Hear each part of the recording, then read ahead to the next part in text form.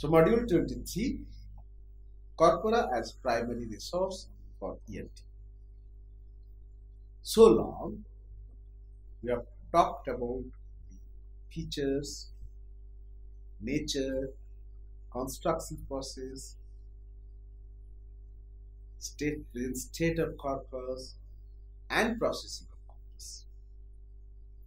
The last inevitable section of this discussion is utilization or application of corpus in various domains of human knowledge.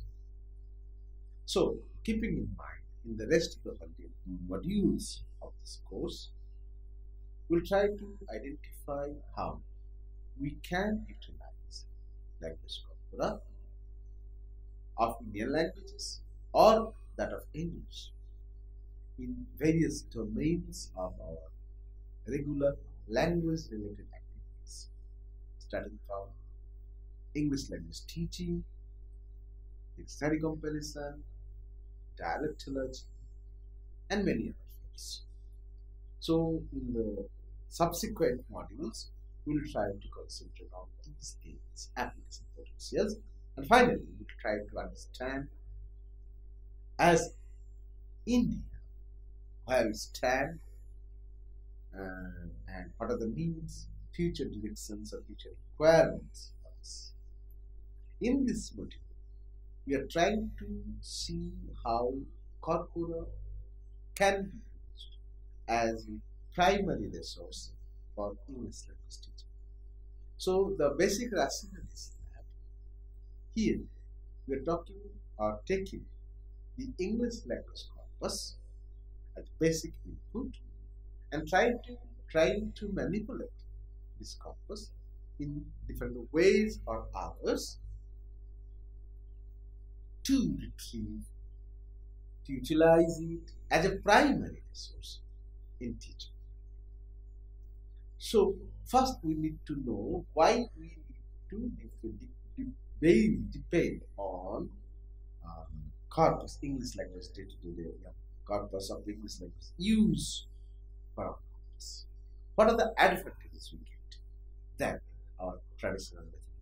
Yet, so we can sum up the whole things in this manner that intuition-based ELT text materials are often found to be misleading. That's clear.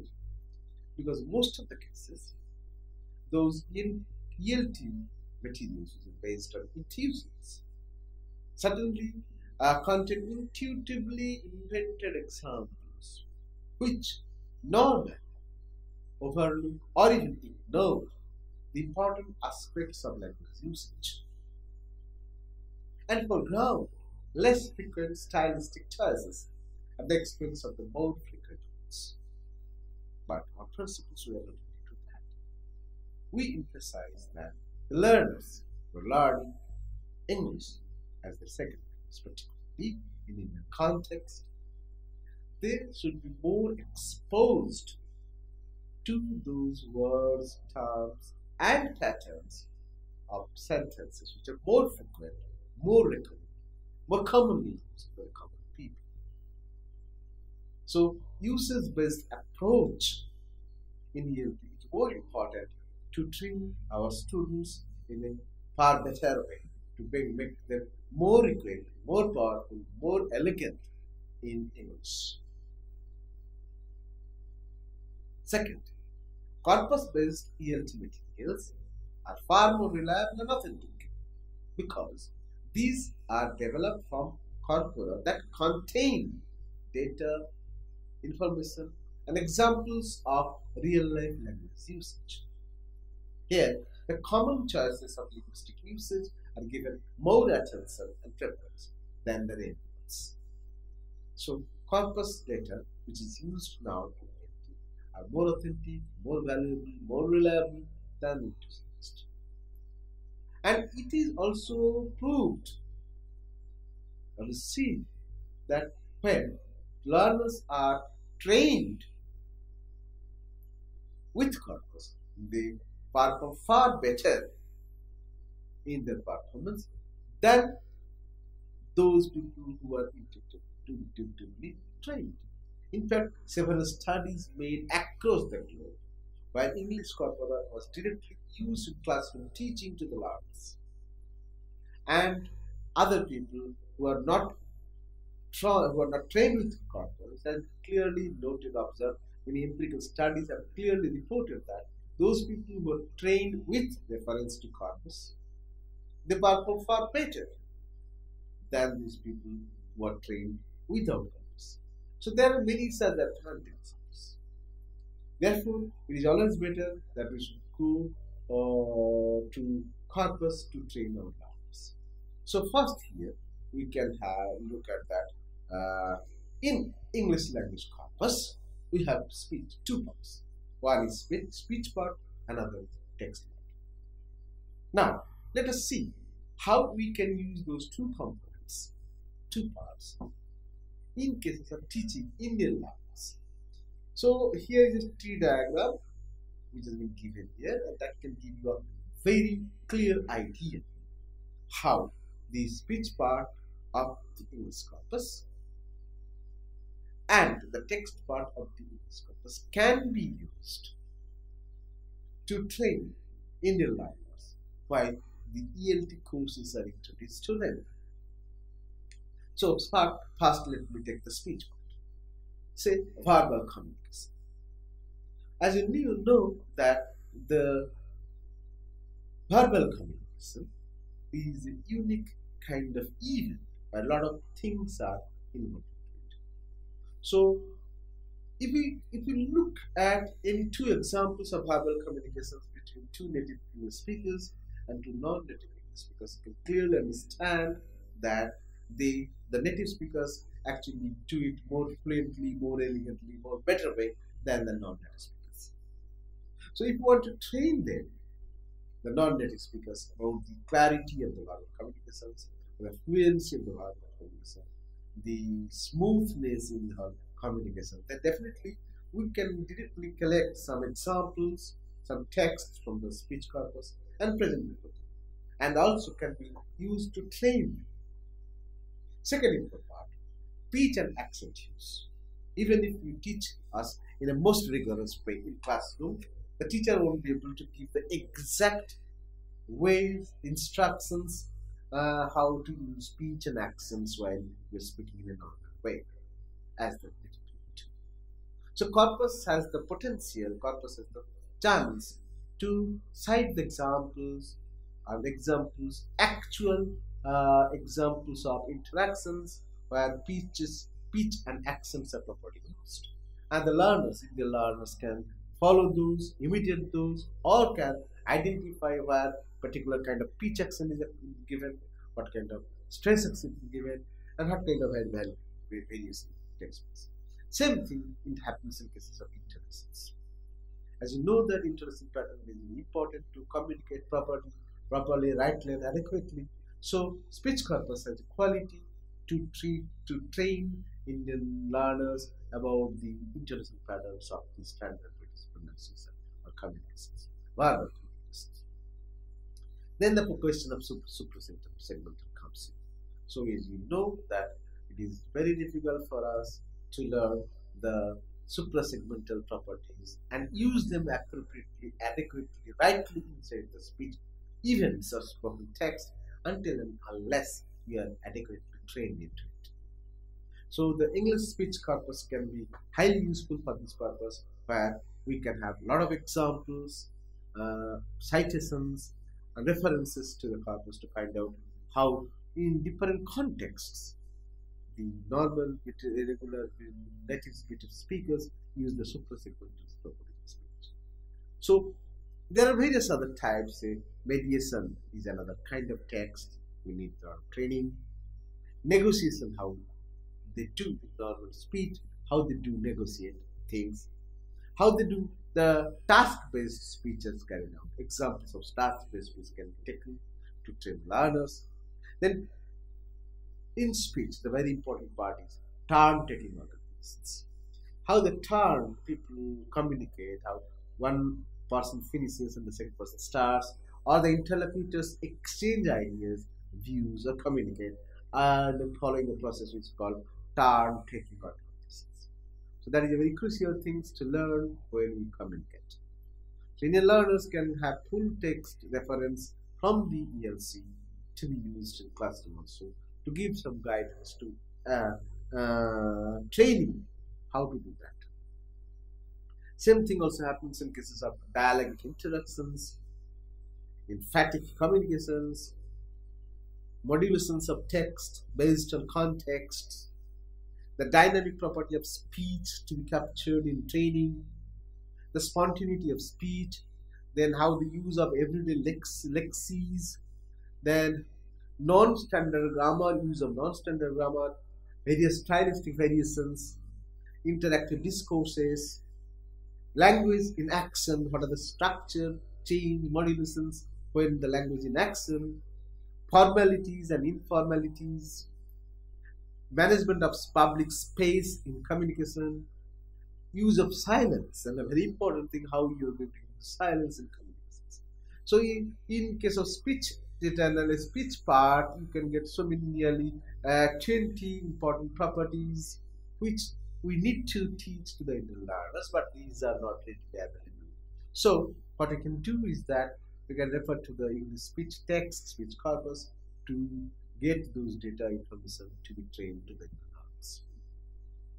Now if you go back to the text part, we can find out that there are various ways where we can get information from the text if we say the list we have given here, if you look at the list, you can put that.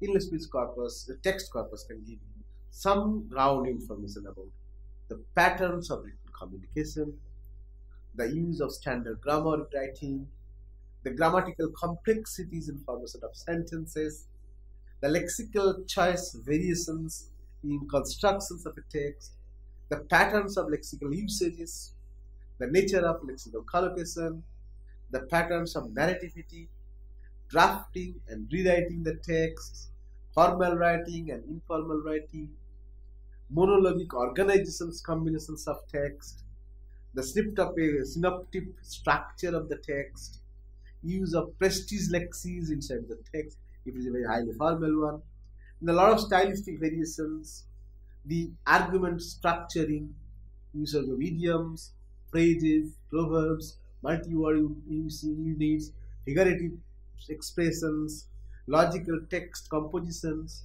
information packaging. So all those things also come into the text. So all those properties which we need to teach to the learners are not easily available to us except we refer to the text corpus. So what we argue here is that we can refer to the English language corpus for the purpose of English language teaching. Then the next point is data driven learning. So data driven learning, the basic argument is that all the learning process, all the teaching language teaching process should be based on data. Here, if we want to teach the pronunciation variations of the sounds to the Indian learners, we need to refer to the data which is available here in the English speech corpus. Suppose what we have come across various times that suppose in English English A, how to pronounce it so the textbooks that are available to us don't, don't give us accurate descriptions or accurate information how it has to be. Maybe one or all the time, if you look at the text materials, you can find out that English A is always pronounced as A in almost all the ELT text materials available in India for the Indian learners. But analysis of uh, English corpus shows that this particular letter has at least eight different pronunciation variations based on contexts. It's based on the data. So now the question is, if we have a speech corpus ready with us, a speech corpus where all the variations of pronunciation of this particular letter is available, we can give them to the learners and train them how depending on the various context and usage-based model, how these learners should learn to pronounce this word or this letter in different contexts, in different ways.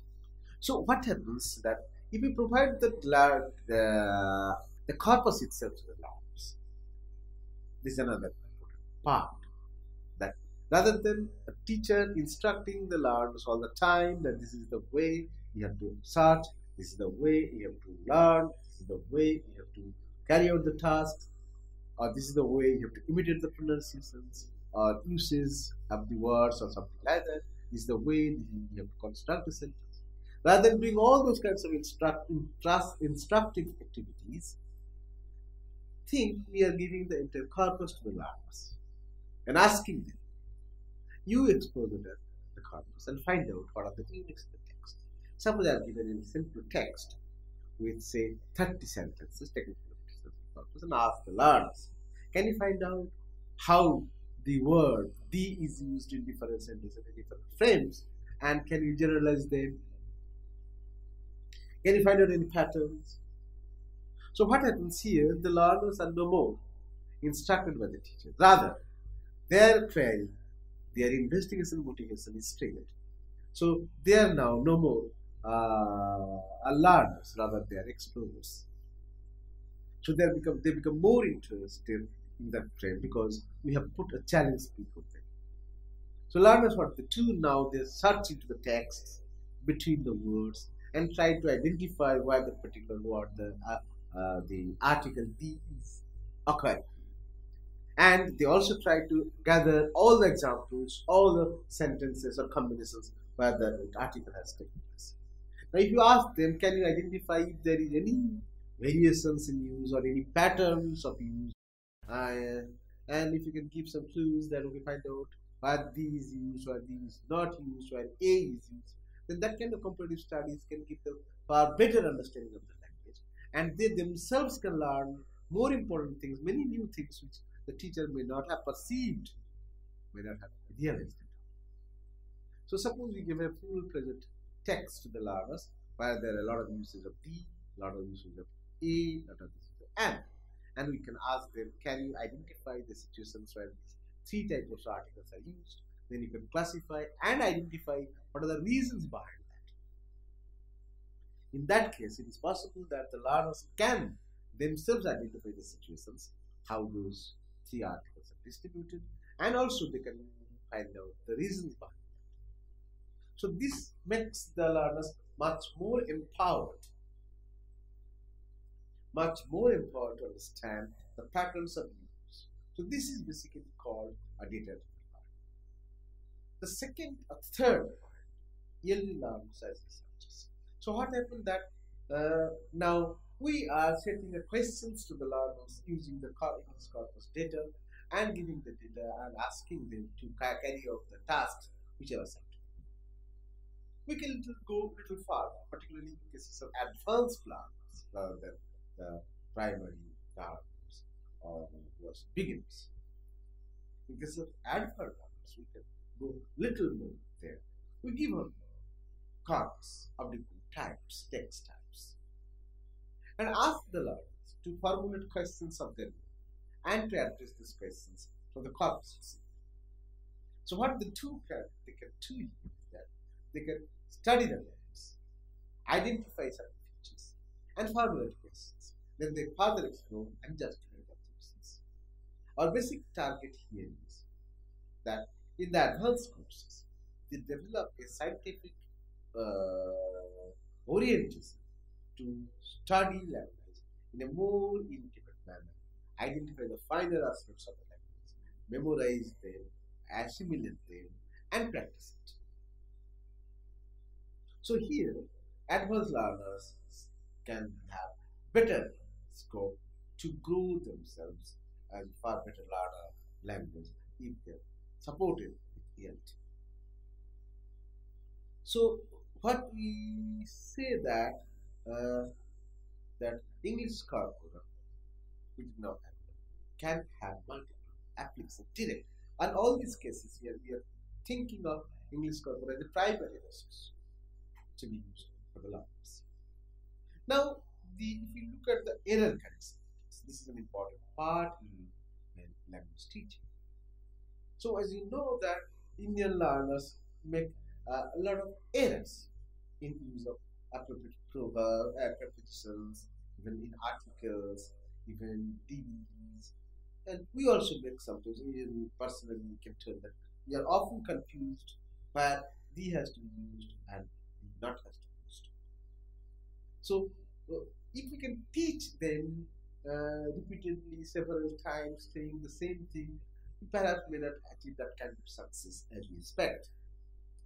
On the other hand, what you can do, you can ask them, can you please produce a text of your own produced by them? It is a text produced by labs.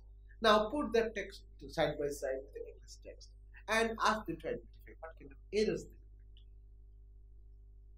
And that can be corrected with reference to the English scholars. What we argue here is that the errors which are made by the governments are of great importance to rectify those errors and provide appropriate remedies to avoid. So what we can do is that we can uh, identify by analyzing the text produced by the governments the errors they have made. And also it can classify what kind of errors they are actually making. Grammatical errors, syntactic errors, semantic errors, or in lexical use, or whatever. Once these are identified properly, categorized and classified, we can directly go back to the English language corpus, which is now using as a benchmark, and instruct the learners to follow and to identify, uh, to make corrections of errors. So we have ELT has a tremendous role to play in error corrections. So even in classroom teachings also, we can use those uh, a, English language curriculum as one of the important primary resources to make changes or to make corrections of errors made by learners. The another important part of ELC, that is language corpus, in ELT is sensory. So it is almost almost approved that the words which are available in dictionary and the meanings which are produced in the dictionary against each word is not the same when the word is used in a text and the range of senses it denotes. Quite several experiments have been made and it has been clearly understood that the word when it is used in a piece of text can keep many, many new range of meanings, new range of senses, which may not be am in the standard dictionary. However, reach, however, very If this is so, then it becomes a very difficult task for the to understand in which senses the word is used. Here lies the importance of concordance or keyword contexts or other tools for the learners for teaching them the sense various expressions. What we argue that words has many senses. And a word can be used in a corpus in many different senses. If this is so, then we need to produce a corpus with all possible senses available and present in the learners in a systematic way, in a concordanced pattern, so that we can, the learners can examine those sentences and identify in different how the word is used in many different senses and how that particular sense can be retrieved, can be understood, can be captured with reference to the context. Here I can give, give an example. Let's say some sentences uh, from the BNC where you can find out that words are used in every different senses. Just a minute, I can so here. Look at these examples here. So it says, I'm giving the example of great. An individual is capable of both great compassion and great indifference. Now look at the sense of the great here, great compassion and great indifference. But friendship is a great thing. Definitely you understand that the meaning of great in great compassion or great difference. and the meaning of great is a great thing is two different. Look at the next example. He lived to a great age of his life. Now, if you look at the third example, the great, is not giving the same sense as we noted in earlier two examples. Now, if we look at the fourth example, his great uncle was a pilot for British Airways. Or if you have love in your life, it get many things in love, lack. Or uh, love and magic have a great deal in common. Many men worry over the great number of digits. Rainy season is not a great one for travel. Sex is a great thing, provided you know the tricks. The temptation is a great treason to do the right deed for the wrong reason. So if you look at the examples given here, great has many different senses. And I'm sure a dictionary, however large be, however varied, if it is not corpus may not be able to keep all the senses in the texts. So here we can produce a concordance list of the words and present them to the learners so that they themselves can go through the text and identify what are the senses denotes, what are the meaning variations of the word. So corpus is highly useful in understanding sense variations and meaning variations of words Similarly, corpus has tremendous role to play in understanding the stylistic variations of texts. Particularly in ELT, we always try to teach the normal, uh, standard, acceptable kind of thing uh, which is accepted as a normal standard word in English. But we know very clearly that English texts stylistically differ based on the domain or subject. The way a legal text is produced, made, is not the same way the text is produced in cases of children literature. Or if you look at the texts of a sports narrative or sports event, a report is completely different than a scientific text. So what is argued here even in text, in text cases, there are a lot of stylistic variations. Not only based on genres, based on domains, subject matter, text types, or even in individuals. But we never give much importance to them, to these variations, while we are teaching Indian learners about ELT or ELT courses. So this is very important for us to know that we now can provide them those facilities. Now we can present six or seven or ten different stylistic texts of different stylistic constructions or stylistic uh, patterns or stylistic usages to the learners and ask them to compare among them. Find out how a particular text is different from the other. So stylistic uniqueness of the particular text belongs to a particular domain, particular category. So they would be more uh, explorative in nature. They'll more explore, uh, understand how the stylistically one text can vary from another because of certain properties, certain features, certain constructions, and all other things. So what I argue here is that English texts of different types can be assembled together, together now and can be presented to learners so that they learn more intimately the stylistic variations observed different kinds of English texts.